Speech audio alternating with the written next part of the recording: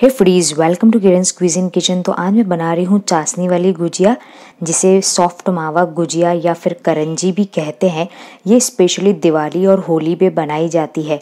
वैसे ये इतनी टेस्टी बनती है कि आप इसे कोई भी ओकेजन पे बना सकते हैं। तो चलिए इसकी रेसिपी देख लेते हैं। तो सबसे पहले आप एक ले लें कढ़ाई, उसमें आप डाल दें वन टी घी। ये गाय का देसी घी है। जैसे घी मेल्ट हो जाता है, उसमें मैं डालने वाली हूँ one third cup dry fruits जिसको मैंने फाइनली चॉप्ड कर लिया है। ये मिक्स्ड ड्राई फ्रूट्स हैं, बादाम, काजू, पिस्ता किशमिश और मैंने ली है चारोली।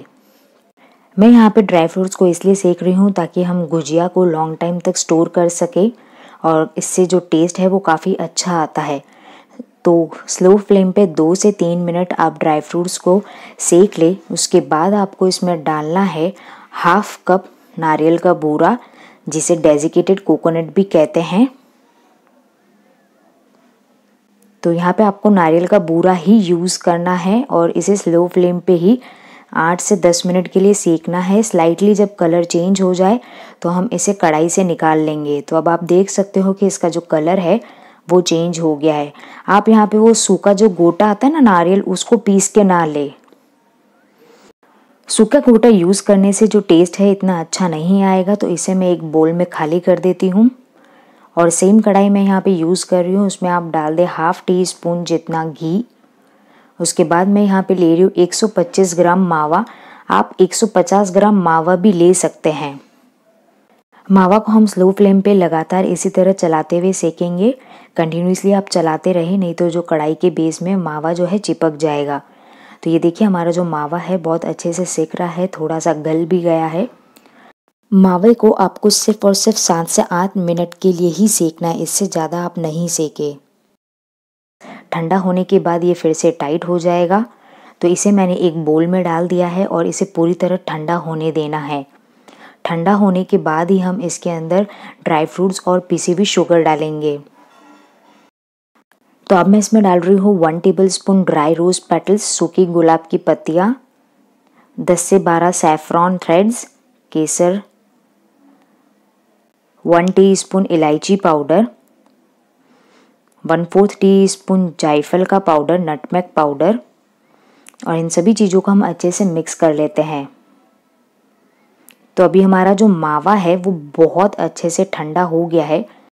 तो अब मैं इसके अंदर मिला रही हूँ one cup plus two tablespoon PC हुई शुगर। शुगर को आप घर पे ही पीस लें मिक्सर जार में और फिर इसमें डाल दें। बस मावा जो है बहुत अच्छे से ठंडा होना चाहिए जब आप इसमें शुगर डालते हैं। तो ये देखिए, मैंने इसे बहुत अच्छे से मिक्स कर लिया है।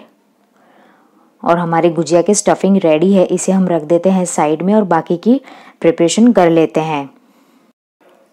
तो गुजिया के लिए सबसे पहले हम आटा लगा लेते हैं। तो यहाँ पे मैंने लिया है दो कप मैदा रिफाइंड फ्लावर उसमें मैं डाल रही हूँ अ पिंच ऑफ़ सॉल्ट उसके बाद मैं इसमें ऐड कर रही हूँ फोर टेबल स्पून घी, गाय का देसी घी। आपको इसके अंदर घी डालना है। घी से काफ़ी खस्ता बनते हैं। गुजिया ऑयल से गुजिया इतना अच्छे नहीं बनेंगे। अब इन सभी चीज़ों को हम बहुत अच्छे से मिक्स करेंगे। इसको आपको इतना अच्छे से मसलना है मतलब मिक्स करना है, कि इसका जो टेक्सचर है वो दरदरा सा हो जाए और इसका जो कलर है वो थोड़ा सा क्रीमिश हो जाए। तो जब आप इसको इस तरह देखिए बाइंड करके देखते हैं तो ये इस तरह बनना चाहिए। तो मतलब हमने जो मोयन डाला है, वो एकदम परफेक्ट है। अब मैं इसके अंदर डाल रही हूँ हल्का सा गुनगुना पानी। आटा लगाते समय आपको पानी जो है थोड़ा थोड़ा करके ही डालना है। एक साथ सारा पानी नहीं डाले। ज़रूरत के अनुसार ही हम इसमें पानी डालेंगे। दो कप मैदे में हाफ़ कप पानी जो है लग जाता है। मेक श्योर sure कि आप हाफ़ कप से पानी ज़्यादा यूज़ नहीं करें।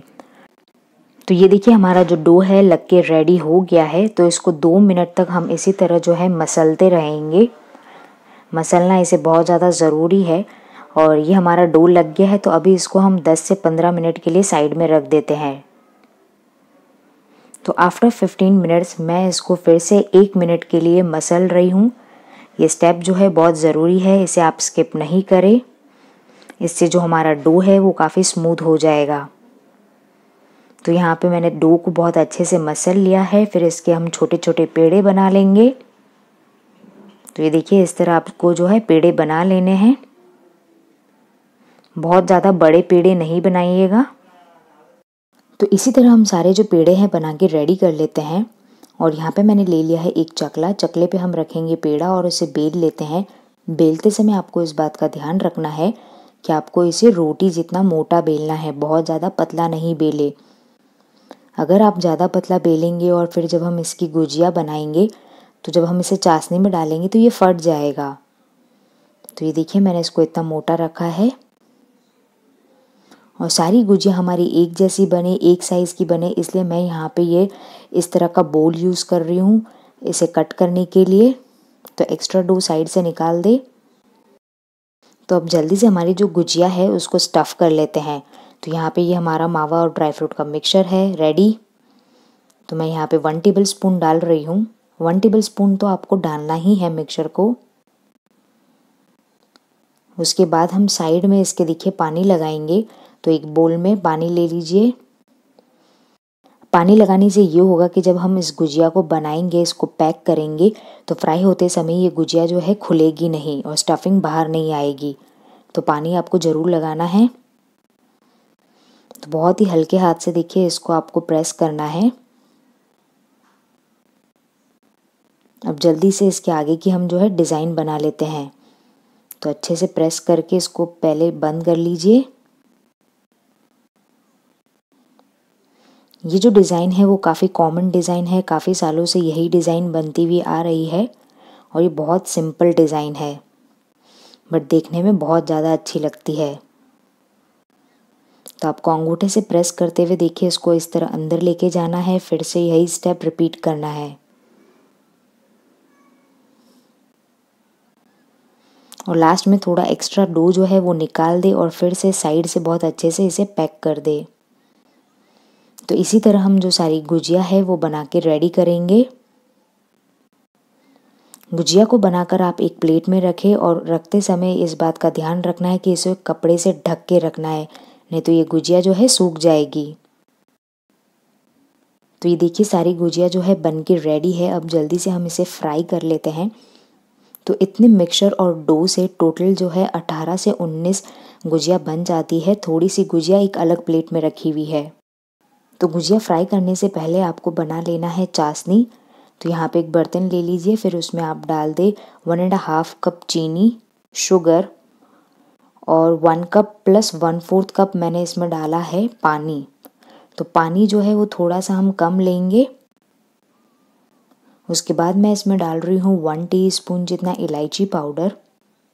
और थोड़ा सा मैं डाल रही हूँ इसमें सैफरॉन थ्रेड्स और फिर मैंने थोड़ा सा येलो कलर डाला है अ पिंच और इन सभी चीज़ों को हम अच्छे से मिक्स कर लेते हैं। और इसे हम जल्दी से रख देते हैं गैस पे गर्म होने के लिए। तो ये देखिए, मैंने इसे गैस पे रख दिया है। इसको कंटिन्यूसली चलाते रहेंगे। अभी गैस का जो फ्लेम है, वो हाई है। जब तक चीनी मेल्ट नहीं हो जाती तो गैस का फ्लेम आप हाई रखिए। और जैसे ही चीनी मेल्ट हो जाती तो मैं गैस का फ्लेम मीडियम कर दूँगी। तो फ्रेंड्स यहाँ पे जो चीनी है, वो बहुत अच्छे से पिघल चुकी है और गैस का फ्लेम मैंने मीडियम कर दिया है। इसको कंटिन्यूसली इसी तरह चलाते हुए दो मिनट के लिए पका लेंगे ताकि ये जो चाशनी है, थोड़ी सी गाढ़ी हो जाए। हमें इसमें कोई तार नहीं बनाना है। बेसिकली इसकी जो चाशनी रहती है, वो गुलाब जामुन के चाशनी जैसी ही रहेगी। चिपचिपी सी, थोड़ी सी गाढ़ी। तो ये देखिए, स्पून में इस तरह थोड़ी सी चाशनी ले, एक से दो मिनट के लिए रुके, फिर आप अपने फिंगर से इसको जो है टच करके इस तरह देखिए। गरम गरम चाशनी आप हाथों में लेके देखेंगे तो आपको पता नहीं चलेगा और हाथ भी जल सकता है। तो ये हमारी चाशनी हो गई है तो गैस मैंने बंद कर दिया और इसे ढक देते हैं। तो फ्रेंड्स, आज मैं गुजिया को यहाँ पे घी में फ्राई करने वाली हूँ। आप इसे ऑयल में भी फ्राई कर सकते हैं बट घी से काफ़ी अच्छा टेस्ट आता है।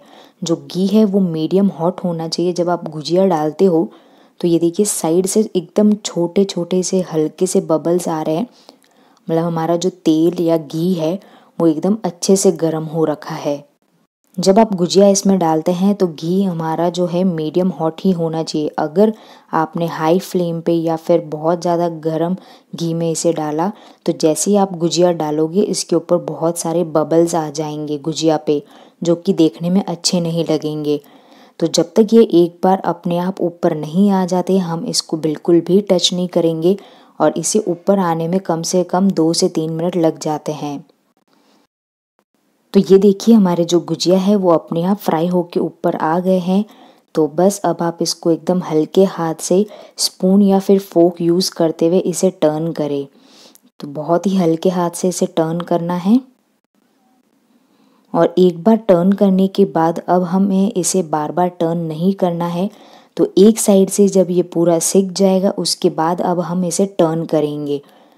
तो ये साइड में जो जाग देख रहे हो ना, वो भी बहुत कम हो जाएँगे थोड़ी देर में।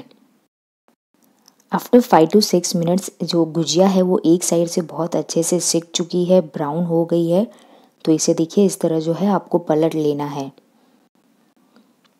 और दूसरी साइड भी हम इसी तरह जो है फ्राई होने देंगे। गैस का फ्लेम मैंने स्टार्टिंग से स्लो टू मीडियम के बीच में रखा है।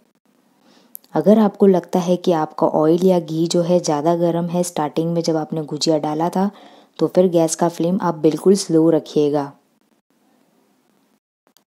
After three to four minutes हमारी दूसरी साइड से भी जो गुजिया है, वो अच्छे से फ्राई हो चुकी है। तो बस इतना ही हमें कलर डार्क चाहिए। अब हम इसे जो है बाहर निकाल लेंगे।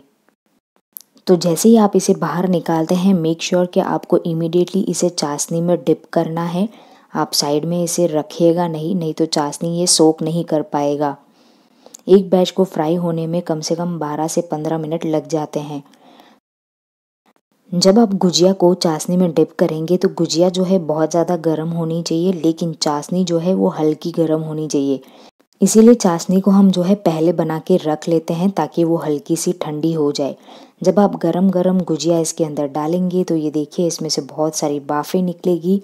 और अगर गुजिया और चाशनी दोनों ही गर्म रहे तो क्या होगा कि ये बहुत ज़्यादा चाशनी पी लेगा और ऊपर की जो ये गुजिया की लेयर है ना, वो फट भी जाएगी मतलब बहुत ज़्यादा सॉफ्ट हो जाएगी। तो छः से सात गुजिया डालने के बाद देखिए, इस तरह जो है पलट लेना है और चाशनी में हमें सिर्फ़ दो से तीन मिनट इसे डिप करना है। बहुत ज़्यादा देर तक इसे डिप नहीं करें। फ्रेंड्स मैं तो सिर्फ़ एक से दो मिनट ही प्रेफर करती हूँ चाशनी में डिप करना बिकॉज़ बहुत ज़्यादा देर तक जब हम चाशनी में डिप करके रखते हैं तो ये बहुत ज़्यादा चाशनी पी लेते हैं। और फिर जब आप इसे तोड़ोगे तो इसमें से सिर्फ़ और सिर्फ़ चाशनी ही निकलती है। आफ्टर टू मिनट्स मैं जो गुजिया है, वो बाहर निकाल रही हूँ और इस तरह छन्नी पे रख रही हूँ ताकि जो एक्स्ट्रा शुगर सिरप है, वो निकल जाए और फिर इसे आप एक प्लेट में रख दें।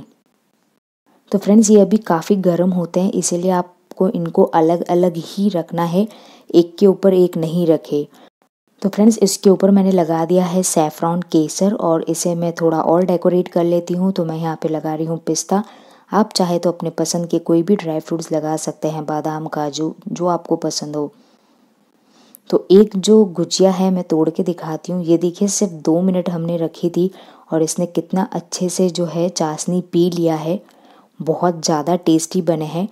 अगर फ्रेंड्स आपको रेसिपी जो है यूज़फुल लगी है तो मेरे चैनल को करें सब्सक्राइब और मुझे कमेंट करके ज़रूर बताएँ कि आपको ये रेसिपी जो है कैसी लगी है। मैं मिलती हूँ नेक्स्ट वीडियो में, तब तक के लिए bye bye take care thank you